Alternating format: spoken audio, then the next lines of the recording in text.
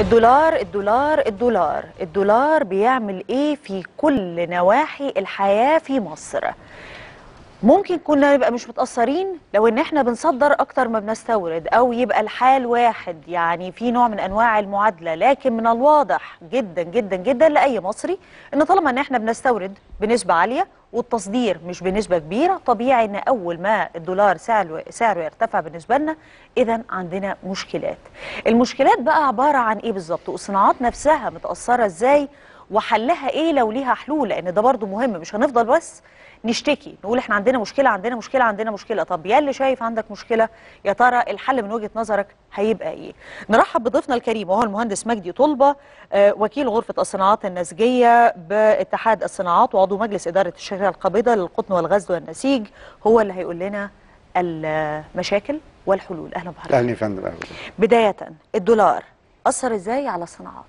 طيب خلينا الحقيقة نقول يعني أستأذنك قبل ما ندخل في تأثير الدولار على الصناعات آه نتكلم شوية على إحنا ال- ال- ال- الموقف اللي إحنا فيه أو إحنا وضعنا فين. آه لأنه ال- الناس لازم تفهم حاجة الحقيقة إنه ما يحدث النهارده هو نتيجة هو مش نتيجة تصرف جه فجائي ده نتيجة تراكمات بقى لها إدارة للاقتصاد المصري على مدار الأربع خمس سنين اللي فاتوا. النهارده بدأت تظهر هذا الكلام. الحاجة الثانية الحقيقة لازم نعترف برضه بحاجة لأنه أنا شايف اتهامات متبادلة من الجميع. آه، هناك هجوم جامد على المركزي على الحكومة الحالية. وأنا شايف الحقيقة إن ده في آه، نوع من عدم العدالة لأنه يعني أنا ما بيكون في أداء حكومة سيء بنتقده ما بجاملش حد. إنما إحنا بنتكلم على آه، محافظ بنك مركزي الحقيقة رجل جاي كان يرأس البنك الأهلي خبرة عالية جدا فاهم يعني إيه أصول اللعبة. آه، الحكومة الحالية الحقيقة بالذات يمكن الجزء المعني بالقصة دي أنا بعتبره الحقيقة المجموعة الاقتصادية طبعا على رأسها السيد وزير التجارة والصناعة. آه، راجل background بتاعه آه، عالي بيحاول فإنما هم شربوا نتائج مش بتاعتهم. حضرتك عندك النهارده ال- ال- ال- ال- ال- العملية مش عافية. إحنا عندنا كميات عملة أجنبية متاحة بتؤدي إلى إن يبقى في نوع من اتزان في سعر الصرف. لو إحنا بصينا لمصادر مصر من العملة الأجنبية عبارة عن نمرة واحد الصادرات نمرة اثنين السياحة تحويلات المصريين في الخارج قناة السويس. لو حضرتك حللتي الكلام ده كله هتواجه الآتي. نتيجة أداء الاقتصاد المصري على مدار الأربع خمس سنين اللي فاتوا الجزء الرئيسي اللي هو كان مفروض إنه يخرج مصر من مشاكل كتير من مشاكلها هو الصناعة وبالتحديد الصادرات إحنا شايفين نزول يعني أنا قدامي مؤشرات للأسف يعني لسه معلنة من أيام سيئة جدا. إحنا كنا آه 2012 بنتكلم في 53 مليار دولار واردات قفزت إلى ما يقترب من ال 70 مليار دولار. عندنا صادرات كانت 53 مليار آه، دولار 53 مليار واردات؟ دولار ونص كانت وارداتنا حجم استيرادنا في 2012 آه. آه وده كام؟ مؤشر في منتهى الخطورة يقترب بالظبط من ال 68 مليار وده الرقم الرسمي. الواردات دايما الرقم المعلن الرسمي غير حقيقي لأن الواردات للأسف فيها ضرب فواتير كتير آه فيها تهريب. الرقم الحقيقي الله أعلم يزيد ب 10 ب 20 مليار عن هذا الرقم. طيب في 2012 ده- كنا 53 ونص. 53 ونص. دلوقتي؟ ال- دلوقتي زي ما قلت لحضرتك 68 مليار. 68 واردات. مليار. وده وده يعني رقم غير مقبول. الحاجة الثانية إحنا كنا بنصدر في 2012 آه، ما يقرب من ما يقترب من ال 23 مليار دولار للأسف السنة دي إحنا 18 و6 من 10 مليار دولار. معناها وارداتنا بتت- بتتوحش صادراتنا بتقل. الحاجة الثانية السياحه كلنا نعلم وضع السياحة. آه طبعا. ودي مرتبطة بسياسة وأمن و و ربنا العالم هتقوم إمتى؟ إنما وارداتنا من العملة الأجنبية من السياحة مش موجود. تحويلات المصريين في الخارج طبعا نتيجة الأوضاع الأخرانية وللأسف إن بدأ يحصل ممارسات مش مظبوطة إن تحويلات بتتم من بره بره بدأ جزء من تحويلات المصريين في الخارج بيروح لبعض العواصم العربية في المنطقة يعني. ال- النقطة الأخيرة قناة السويس إحنا عارفين إن قناة السويس مرتبطة بحركة التجارة العالمية آه، ما زالت قناة السويس طبعا العائد منها هو نفس العائد تقريبا اللي هو كان بيدره إذا إحنا لا يوجد عندنا إلا الصادرات. لو إحنا بصينا على وضع الصناعة عندنا وشفنا ما تعانيه الصناعة تراكمات الصادرات الأربع- كانت كام وبقت كام؟ الصادرات كانت آه، ات- ما يقترب ما يقرب من ال 23 مليار. ال 2015 ده كان ده 2012 2015 آه للأسف 18 و6 من 10 بالذات- 23 آه، و18 حضرتك- والثانيه 53 ونص و68 و68 طيب إيه سبب بقى تراجع الصادرات؟ عندك خلل في الميزان التجاري المصري بهذا الشكل آه. يعني يقترب من ال- يفوق ال 40 مليار دولار طيب إيه سبب بقى تراجع الصادرات؟ آه، طبعا آه، يعني كلها إحنا بنتكلم للأسف على آه، إجراءات أو سياسات كان المفروض إنها تتخذ ما اتخذتش آه، إحنا بقالنا الكلام ده مش جديد إحنا بقالنا أربع سنين سنويا تقريبا الصادرات بتنزل لا حد بيقيم ولا حد بيحاسب ولا في تغيير سياسات. فعشان كده الحقيقة يعني أنا أول مرة أنا أنا بكلمك بصراحة أنا واحد من الناس يعني آه، جوه مطبخ الصادرات وتجارة وزاره التجارة والصناعة. أنا بقالي ثلاث أربع سنين في حالة جمود. أول مرة أحس الحقيقة إن في محاولة من الوزير الحالي لإصلاح الوضع. يعني عشان كده يمكن أنا بدعي له آه، ان ربنا ي... لأن هو شارب تركة من أقصى ما يمكن. الدنيا كلها بتتغير أيوه يعني قله الصادرات نتيجة لعدم المتابعة يعني على أساس إيه بقت صادراتنا مثلا مش بالكفاءة الكافية فمش مطلوبة ولا إحنا بطلنا إن إحنا أصلا ننتج ولا بعد 25 يناير حصل مشاكل كتير جدا في معظم القطاعات التصديرية مم. وخصوصا قطاع المنسوجات اللي أنا بنتمي إليه نتيجة ك... وده قطاع كثيف العمالة. كثافة العمالة مع أحداث 25 يناير ومشاكل العمالة و... وخوف بعض الشركات الأجنبية و... والانكماش وانسحاب آه، جزء من الشركات الأجنبية من مصر فحصل نوع من التعثر آه، لجزء من الصادرات. كان المفروض في الوقت ده يتعمل حاجة اسمها إدارة الأزمة. أي دولة في الدنيا بتمر بمشكلة زي اللي إحنا مرينا أو ب... ب... ده من أيام 25 يناير وإحنا. بنتكلم إن فين إدارة إحنا الأزمة؟ لحد النهارده ما عندناش إدارة أزمة الحقيقة. فبدأت النهارده يحصل عندنا آه، تراكمات مصانع بتقفل يعني يمكن زي ما كنت بتكلم مع حضرتك أنا لحد دلوقتي ما أعرفش عدد المصانع اللي قفلت قد إيه. مفيش بيان رسمي. عدد المصانع المتعثرة قد إيه. إنما الشيء اللي أنا أعرفه إن أنا لو دخلت أي قطاع من القطاعات بتاعتنا النهارده صناعية. آه، بدون استثناء مش هتلاقي حد بيشتغل ب 70 80% طاقة. اذا لو أنا النهارده عايز أحل صح وده بقى الكلام اللي يتقال آه، آه، أبدأ إن أنا أرفع أنا عندي مصانع بتشتغل بطاقات 30 ل 50% لو رفعتها ل 80% أنا أقدر يبقى عندي أكتر من 15 مليار دولار بال- بالمصانع الحالية بالإنشاءات الحالية بالاستثمارات الحالية. وده اللي هو نظرية علاج المريض الأول. أنا ما أدورش على المريض إن أنا أدور له على أنا أشتري له شاشة تلفزيون جديدة. ولا أعالجه أقوم من عسير المرض. ف- فالنهاردة المطلوب مواجهة الواقع. فعشان كده النهارده ال- الشيء الثاني اللي أنا شايفه الحقيقة أنا شايف نوع من التخبط والهجوم والهجوم المتبادل إحنا بدأنا يحصل انقسام. أنا قلقان منه جدا. إحنا بقى عندنا النهارده اتحاد الغرف التجارية عنده هجوم معين على السياسات الأخرانية وكيفيه إدارة ملف العملة الأجنبية. اتحاد الصناعات عنده حاجة عكسية بيدافع عن القرارات وده شيء غلط. مش المفروض إن إحنا ننقسم. إحنا في الأول وفي الآخر المفروض إن إحنا نفكر مع بعض. نفكر مع بعض. الحاجة الثانية الحقيقة اللي أنا برضو بلوم فيه شوية أنا لما آخد قرارات زي دي الحقيقة مفروض في أصحاب الشأن لازم أقعد معاهم. ومش عيب إن إحنا يبقى في بعض القرارات ال- المؤلمة بس لازم يكون على التوازي لها آه، يعني نوع من ال- ال- المميزات اللي بديها. ما ينفعش العملية إن أنا آخد وما أديش. أنا بتكلم الكلام ده طب كحكومه وده ما بيحصلش؟ ما بيحصلش الحقيقة هو مجتمع أعمال. كان لازم النهارده لأن لو ده حصل ما كانش فيه التراشق الموجود النهارده. إحنا إحنا بقالنا اعلاميا دلوقتي شهرين ما فيش إلا واحد بيطلع من هنا يتكلم وواحد يطلع الناحية الثانية يعارضه. فحتى انقسمنا لأهلي وزمالك وده غلط في الاقتصاد إن إحنا ننقسم لأهلي وزمالك.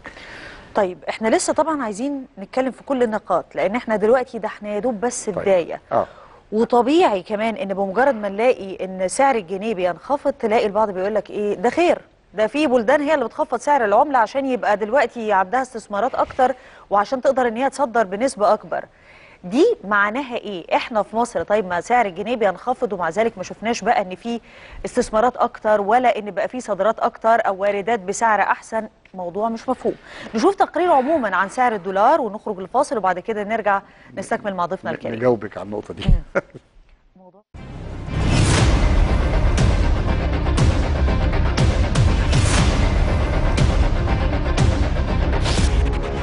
شبح الإغلاق يخيم على تلك المصانع وغيرها والمسؤول الأول والأخير هو الدولار. فارتفاع سعره أمام الجنيه المصري متخطيا حاجز التسعة جنيهات في السوق السوداء. كان السبب وراء توقف أكثر من 100 مصنع في قطاعات مختلفة. لتترأس مصانع الحديد والنحاس والألومنيوم قائمة المصانع الأكثر تأثرا بتلك الأزمة خصوصا أن 85% من خاماتها تعتمد على الاستيراد من الخارج. وبحسب مسؤولين باتحاد الصناعات يستورد قطاع النحاس خامات بقيمة مليار ونصف المليار دولار سنويا ومصانع الحديد بقيمة ثلاثة مليارات دولار والألومنيوم بقيمة ملياري دولار سنويا حتى قطاع الاستثمار لم يسلم من تلك الأزمة. فأربع عشرة شركة عالمية أوقفت استثماراتها في مصر بحسب الاتحاد المصري لجمعيات المستثمرين. ارتفاع سعر الدولار امتد تأثيره أيضا إلى شعبة الأدوية التي أكدت أن 100 شركة تعاني خسائر كبيرة بفعل ارتفاع أسعار المواد الخام التي تتجاوز 90% من تكلفة المنتج. وفي قطاع السيارات تهدد الأزمة نفسها بنقص الآلات وقطع الغيار المستوردة التي تتجاوز قيمتها 500 مليون دولار سنويا. مأزق وضع فيه الدولار جميع قطاعات الدولة فعدم توفير العملة الصعبة سيؤثر على الإنتاج وخصوصا السلع الاستهلاكية. التي ستؤثر بدورها على المواطن المصري البسيط. رضا معتمد اليوم في ساعة مرة تانية مشاهدينا الكرام قبل الفاصل فتحنا نقطة تخفيض سعر العملة إن هو ساعات بيجيب خير للبلد دي. إحنا الجنيه كل شوية بينخفض ومع ذلك ما شفناش بقى إن في إيجابيات جت من وراء انخفاض سعر الجنيه. دي نقطة عايزين نتكلم عنها. والنقطة الثانية إن ضيفنا الكريم المهندس مجدي طلبة كان بيتكلم على إن إحنا ممكن نعوض 15 مليار دولار بشكل سريع جدا في حل في حالة إن إحنا نحل مشكلات المصانع. مشكلات المصانع تتحل إزاي؟ بص حضرتك النقطة الأولانية اللي حضرتك ذكرتيها الأول حكاية إن في آه، دول تخفيض العملة يعني في أحوال كتير بيكون حل. اللي هو عندنا دلوقتي بقى مشكلة. وفي دول كتير بتخفض عملتها عن عمد. بس على التوازي لهذا الكلام لازم اقتصاد الدول دي يكون قوي ويكون الميزان التجاري بتاعها إيجابي. فيقوم يكون لما بيرخص عملته بيخلي منتجه أرخص. فبيكون حل اقتصادي بيكون في نمو اقتصادي أكتر بيكون في استثمارات أكتر. إحنا دلوقتي عايزين أمثلة عشان نفهم اللي آه حضرتك يعني مثلا لو بصيتي أنا جايب لحضرتك شوية أرقام. الاتحاد الأوروبي بالكامل على مدار مثلا ال- السنة اللي فاتت واللي قبلها خفض عملته بنسبة 10% آه مثلا البرازيل بنسبة 14% جنوب أفريقيا بنسبة 25% ده خلال من 2014 لحد 2016 إنما الدول دي اقتصاديا عندها قوة ما عندهاش مشاكل الصناعة اللي عندنا. عندها صادراتها أكتر من وارداتها. فلما بخفض العملة عندي بكسب في في في في, في قطاعين مهمين جدا. الصادرات والسياحه السياحه بيخلي البلد تكلفتها أرخص يقوم يجي سياحة أكتر لأن مصر بتبقى بلد أرخص له في التكلفة من أي بلد تاني طيب هقول لحضرتك على حاجة لأن إحنا. اتكلمنا في النقطة دي قبل الهوا آه. وكان في أكتر من حاجة كمان حضرتك قلتها لي. بمعنى إن وقت ما البلد تكون مكتفية حتى مش محتاجة إن هي تستورد سلع كتير فإحنا مش محتاجين إن إحنا نصرف بره كتير. فنقدر مثلا عندنا زيت وسكر وعندنا عربيات وعندنا كذا وكذا وكذا وكذا وسعر الجنيه هيبقى منخفض. إذا سعر العمالة هيكون منخفض فالتكلفة عموما مش هتبقى عالية. فاما نيجي نصدرها هيبقى كده بتجيب لنا فلوس. مش هو ده اللي حضرتك كنت. بتقوله. ال ال ال النقطة المهمة الحقيقة كمان إن إحنا الخطورة عندنا النهاردة الحقيقة هو نستفيد بتخفيض سعر العملة. آه زي ما قلت لحضرتك إن ميزاننا التجاري مختل الواردات أضعاف أضعاف الصادرات أربع أضعاف الصادرات تقريبا. الأخطر من كده القيمة المضافة عندنا. أو إحنا برضو بندفع كلنا دلوقتي ثمن الكلام ده بقى مش مش آخر خمس سنين آخر 20 سنة.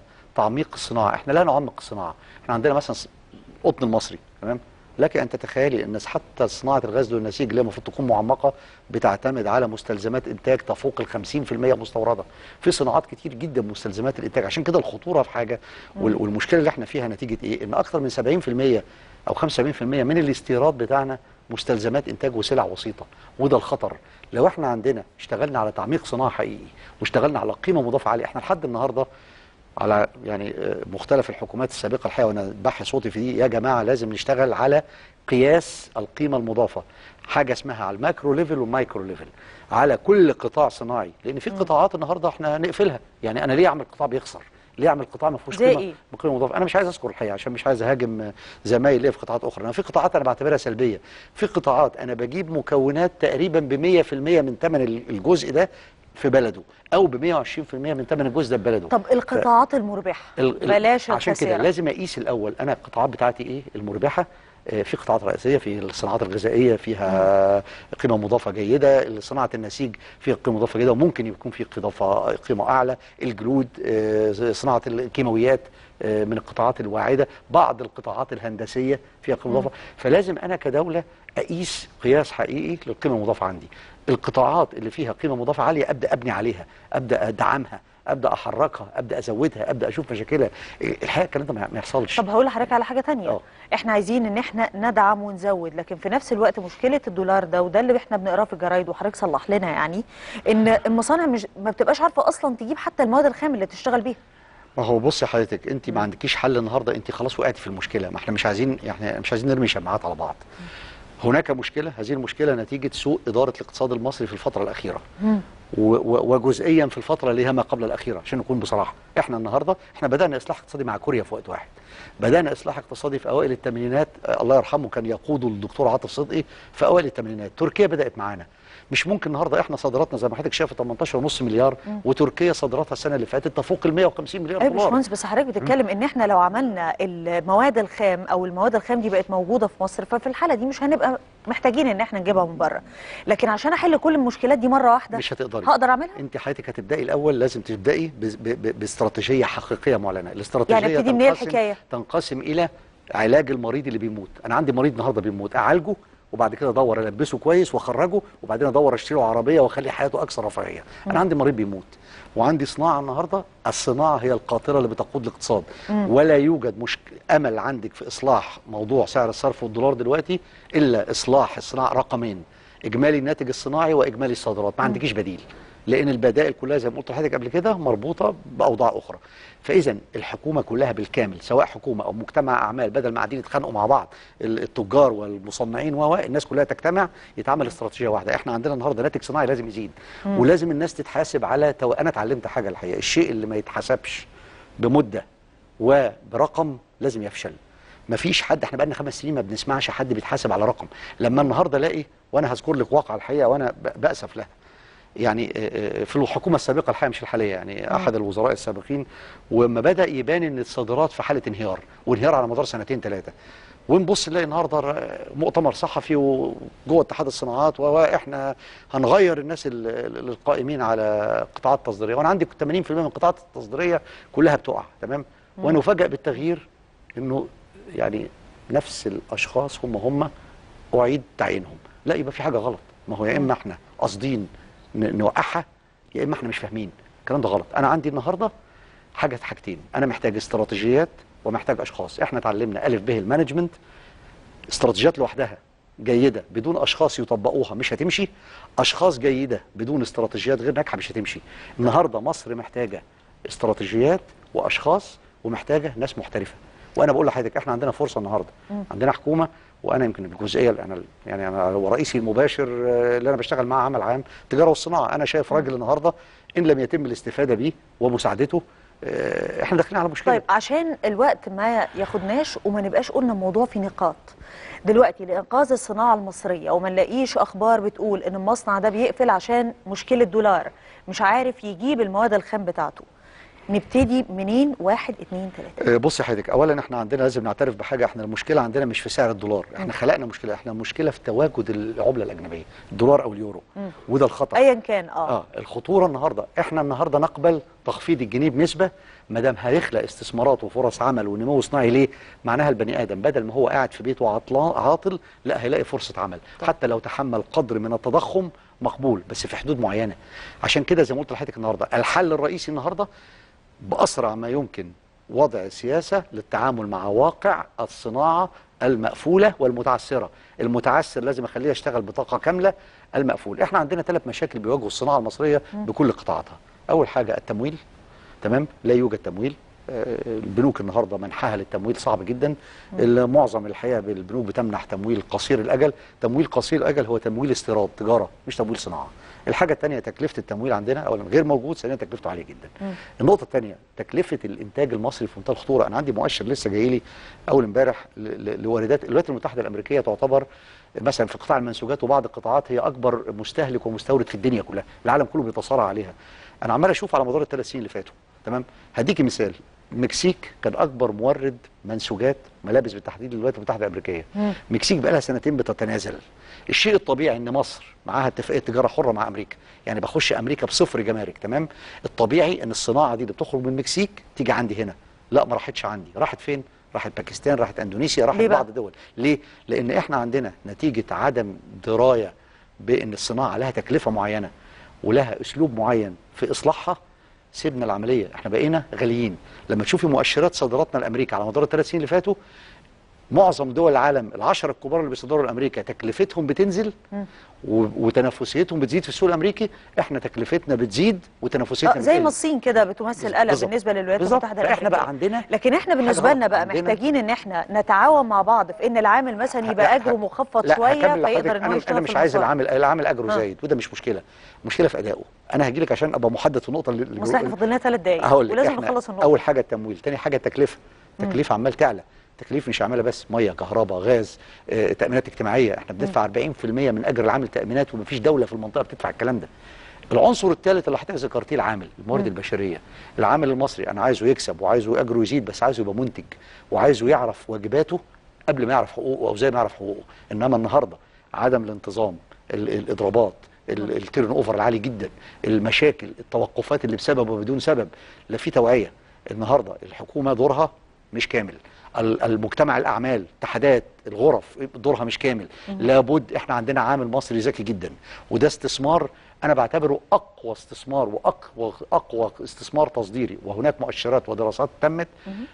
البنك الدولي عمل دراسة من 2010 ل 2050 هيدخل سوق العمل في مصر 43 مليون بني آدم. طيب. تمام؟ إذا إن لم نحسن عمل حاجة اسمها صناعة بشر وتصدير عمالة وصناعة عمالة إحنا بنخلق قنبله موقوته ربنا العالم يريح طيب. في نص دقيقة يا باشمهندس يعني بالمقترحات اللي حضرتك بتقولها دي في الحالة دي انخفاض سعر الجنيه أمام العملات الأجنبية مش هيمثل مشكلة في إن إحنا نجيب المواد الخام في آه؟ لا هيمثل بس لازم يعيش معاها إنما مطلوب النهارده من الحكومة آه. والبنك المركزي ومن الجميع محاولة ضبط العملية بمعنى النهارده هناك تلاعب جوه البنوك بمعنى محافظ البنك المركزي مشكورا رفع حد الإيداع من 50000 دولار ل 250000 دولار البنك بتروحي له بيقول لك انت عندك ائتمان عندي باخد منك عبولة 2 في الألف ولا 2.5 في الألف. ما عندكش ائتمان اديني 1.5% 1.5% على الدولار ده ضخم جدا.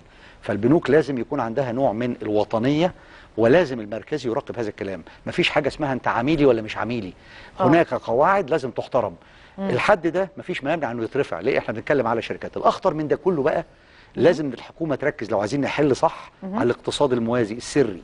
إحنا 70% من اقتصاد مصر تحت بير السلم آه. لا, لا له مثبت ولا ولا ده اللي لازم اشتغل عليه ده إنما في- النهارده في نقاط كتيرة جدا ده اشتغل عشان عليه بقى لأن ده ده, ده اللي. بيدفع فلوس من بره بره وده اللي بيحول من الخارج وده اللي ما عندوش مستندات وده اللي بيهرب وده اللي بيستنزف جزء كبير من الدولار أنا لكن عموما هو بما إن وقتنا خلص لكن آه. عموما اللي أقدر أقول إن أنا خرجت بيه من هذا الحوار إن المشكلة ليها حلول. إحنا مش غرقانين. 100% 100% إحنا المشكلة ليها إحنا حلول. إحنا دولة غ... إحنا. دولة غنية. إحنا دولة مهيئة إنها تنمو. إحنا دولة اتعمل تقارير علينا من 3 4 سنين كنا المفروض نكون 2025 من أكبر 10 دول. دي تقارير. مؤسسات دولية من من أكبر 10 اقتصادات في الدنيا لو مشينا صح. بإذن الله. ما زلنا. نقدر نمشي صح. إن شاء الله. مهندس مجدي طلبة وكيل غرفة الصناعات النسجية باتحاد الصناعات وعضو مجلس إدارة الشركة القابضة للقطن والغزل والنسيج. شكرا جزيلا على حضورك. أهم حاجة إن في حلول إن شاء الله. إن شاء الله شكرا لحضرتك. ومشاهدينا الكرام وصلنا مع حضراتكم لختام آه، حلقة النهارده. اليوم في ساعة. بكرة بإذن الله موضوعات جديدة بإذن الله. الساعة 5:30 نلتقي مع حضراتكم. إلى اللقاء.